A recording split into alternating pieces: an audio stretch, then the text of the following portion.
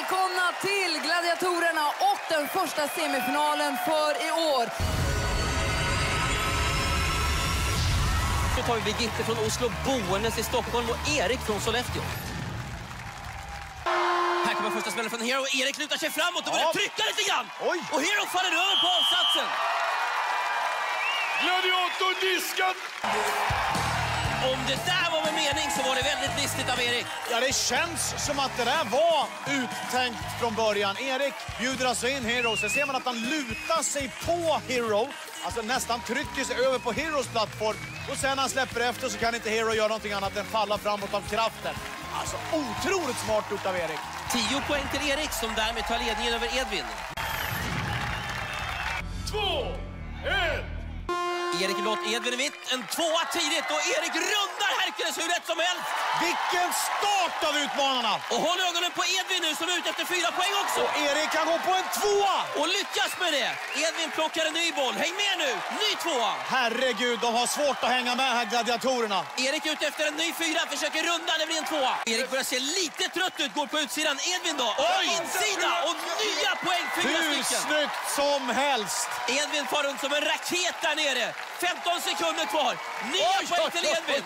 Och Erik då, han är ute efter en tvåa till. Han fick Hercules att sätta sig på rumpan! Och Edvin, nya poäng här, över 20 poäng. Och det ligger gladiatorer överallt i öst och väst, Niklas.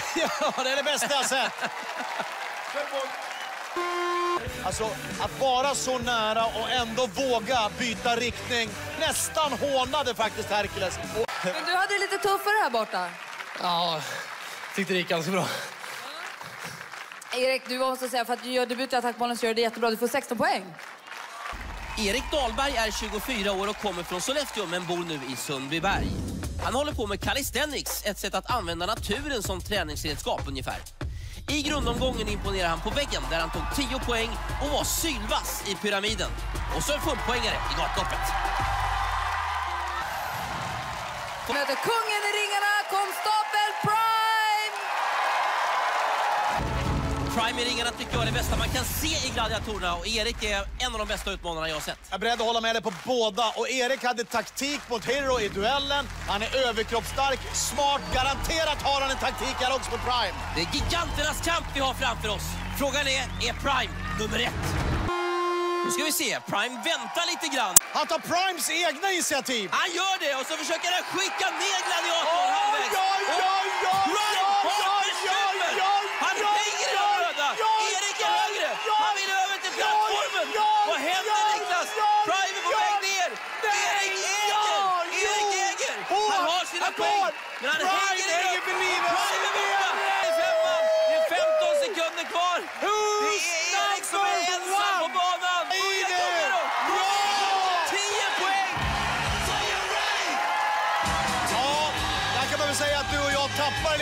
Jag tror hela arenan är i chock här. Vilken fighter du, Erik. Ja, jag tyckte han fightade på bra och hängde kvar. Det kändes också som att du tyckte att det var viktigare att få ner Prime än att komma bort till avsatsen. Ja, jag tog den lättaste vägen. Viktigast är ju inte att få en gladiator att bada. Nej, man måste showa också lite grann.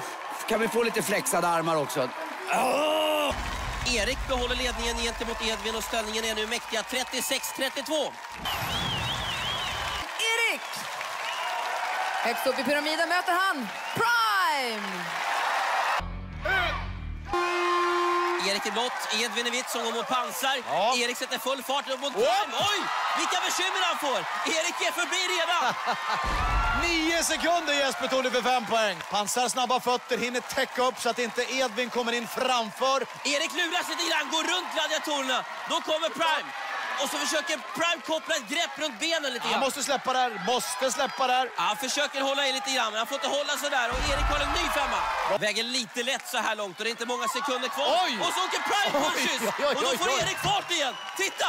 Pansar det där. Men han kan inte hindra honom. Det är 15 poäng. Ah, vilken klass han håller Erik. Det är ruggigt imponerande. Han äter gladiatorer ikväll. Det där gillar jag när Erik är nere. Det ser ut som att han hulkar och vill kräkas. Då har man gått all in, då har man gett allt. Tre gånger. Det är lättare än Kebnekaise här. Erik leder här matchen efter fyra grenar över Edvin med 51-32. Erik sanslöst duktig utmanare. Jag tror på rekordtid. Två, ett! Kommer Erik. Han står och avvaktar lite grann. Han har någon idé. Och sen börjar han trycka lite grann. Oj då, då visar han styrka. Han är på väg in i andra zonen. Där väntar Ymer. Han håller sig rejält här. Ja, nacksväng. 20 sekunder på sig, det ser bra ut. Gott om tid. Mot pansar nu som han flyttar på bara. Och så är det bara Phoenix kvar. Oj, oj, oj, oj. Och han har tid kvar att Klockan jobba tickar på. lite grann. Han är högt upp på sargen och så är han förbi och visar klass. Vad står det? FCK Jantelagen. Han leker lite grann faktiskt med både Hero och framförallt Ymer som tar ett nacksving. Sen trycker han då pansar 5-6 meter bakåt. En enorm skön pausfint där. Fintar och bara hoppar runt Phoenix. Nej, hög klass på den här utmanaren. 10 poäng och tröjan ryker, Erik. Hur känns det? Ja, det känns bra. Det känns bra. Den här hostan, är det någonting jag ska bekymra mig över? Nej. Erik imponerar enormt med sina 61 poäng i semifinalen och därmed startar han hela 9,5 sekund före i hinderbanan. Nu är vi framme vid kvällens sista hinderbana och Erik har ju här med sina fantastiska 61 poäng har satt säsongsrekord i poäng för gladiatorerna. Det är ju ofattbart bra. Men jag måste säga att du har hostat en del och sett lite krasslig ut här nu. Det här är det jobbigaste kvar. Hur ska du göra nu? Ja, det är bara att köra så, länge, så hårt som det går. Det finns ingenting i dig som tvekar. Nej, nej, nej. Om vi ska börja med Erik så startar han med att plocka en 10 av Hero i duellen. Bara det händer inte ofta. Det har varit som en Eriksgata för han.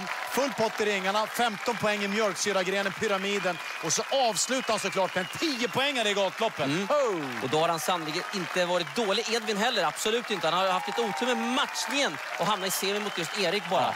22 poäng i attackbollen, det är något som står ut här såklart. Absolut. Men jag återkommer till ringarna. Herregud. Vräka ner Torro, ta en tia som han gjorde och det leendet blev ju inte mindre direkt. Och sen avslutar han också stark i gatloppet. Utmanare redo! Tre, två, ett! Erik har 9,5 sekunder att gå på. Han är en av de bästa utmanare vi har sett någonsin i gladiatorerna. Ja, samtidigt vet vi att Edvin är en väldigt, väldigt stark utmanare som stressar bakifrån här. Och han har varit ruggigt snabb i alla fartgrenar också. Herregud vad han vevar på! Ja, så är det. Och nu kliver Edvin upp i armcyklingen. Och vad gör han, Niklas? Ja, nej, han kör en omvänd armcykling av någon anledning där, men så här långt går det ganska bra. Den låser sig lite grann där. Det är bara veva och veva och veva och veva. Och Erik, han bara klättrar och klättrar! Jag har aldrig sett någon så snabb i det långa nätet tidigare. Edvin blir tvungen att släppa där på armcykling och får ett eh, tidsstraff. Ja, och Erik fortsätter att ösa på där borta. Han har någon typ av rekordtid på gång. Han krossar den här banan kan jag säga. Det är bland det snabbaste jag någonsin har sett. Det är mycket mentalt också när man ser att Erik redan är förbi nätet, ner i poolen, simmat, kommer upp. Då kommer Edvin förbi så det är klart att det är mentalt jobbigt för Edvin. Finns det inte någon som skulle ha en chans mot Erik som han går nu? Över det första balanshindret. På väg upp på det andra balanshindret. Han har en suverän tid på gång. Linbanan, här kommer han.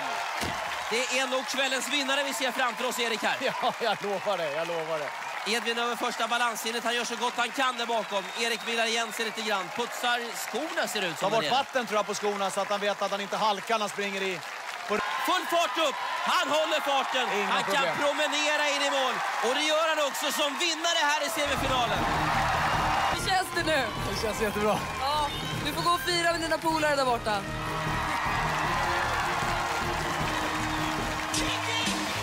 Jag sa efter grundomgången att Erik hade skickat en signal och att han var min favorit till att vinna allting här i Gladiatorerna. Finns ingen anledning att ändra på det nu. Erik tar poäng i fem av sex grenar, 61 poäng. Wow!